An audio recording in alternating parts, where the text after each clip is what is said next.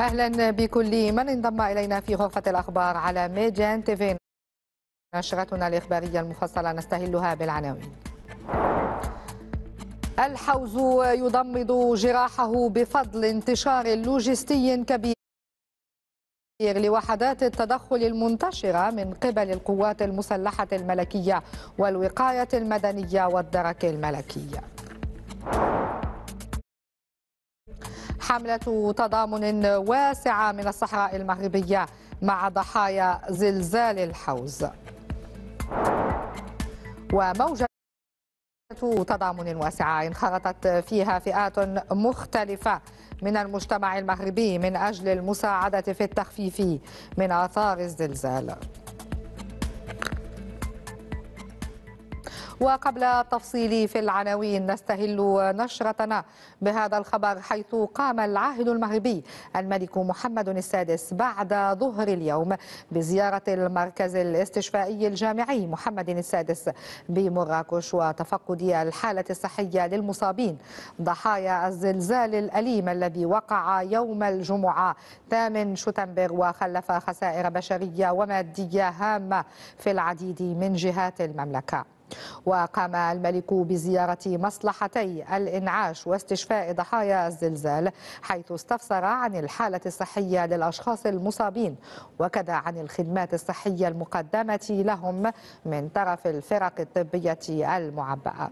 وقد تم استقبال حوالي 2171 مصابا بمختلف المراكز الاستشفائية بجهة مراكش آسفي من بينهم 484 مصابا بإصابات بليغة و1570 بإصابات خفيفة فيما لا زال 248 شخصا بالمستشفيات لتلقي العلاج وبهذه المناسبة تفضل الملك محمد السادس فتبرع بالدم وهي التفاتة كريمة تجسد العناية الملكية السامية وتعبر عن تضامن ملك البلاد الكامل وعطفه على الضحايا والعائلات المكلومة. وفي حصيلة محينة إلى حدود الساعة الواحدة زوالا.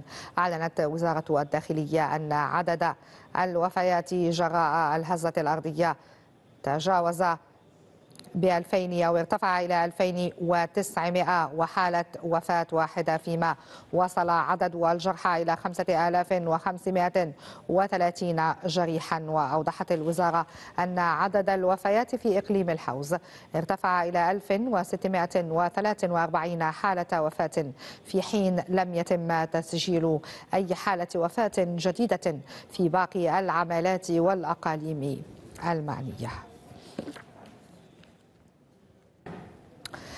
أحيا المد التضامني الأصيل الذي طفى على السطح مباشرة بعد الزلزال الذي ضرب منطقة الحوز. أحيا الأمل لدى الساكنة المتضررة والتي هرعت نحوها فرق الإغاثة وفي الوقت نفسه وسائل لوجستية ضخمة ولم يخفي الناجون ومعظمهم من الدواوير المعزولة الذين ما يزالون تحت وقع الصدمة لم يخفوا مشاعر الامتنان تجاه وحدات التدخل المنتشرة على وجه الخصوص من قبل القوات المسلحة الملكية والوقاية المدنية والدرك الملكي ويجري العمل الذي يتم تنفيذه على الميدان من قبل مختلف المتدخلين وفق مقاربة تعتمد القرب بهاجس إنقاذ وتقديم المساعدة بشكل فعال ودون تأخير لأولئك الذين هم في أمس الحاجة لها. ويعد نشر طائرات الاستطلاع بدون طيار التابعة للقوات المسلحة الملكية في المناطق المتضررة مثالا واضحا في هذا الصدد. شرع المستشفى العسكري الميداني بجماعة أسني في تقديم خدماته لضحايا زلزال الحوز. وأقيم المستشفى العسكري الميداني في أسني على بعد بضعة كيلومترات جنوب مراكش حيث نشرت القوات المسلحة الملكية أول مستشفى ميداني متنقل في أقرب مكان ممكن من المناطق الأكثر تضررا من الزلزال. ويتوفر المستشفى العسكري الميداني على جميع التخصصات المطلوبة لإسعاف وعلاج المتضررين. وتعمل أطقم تابعة للقوات المسلحة الملكية على تقديم استشاراتها الطبية.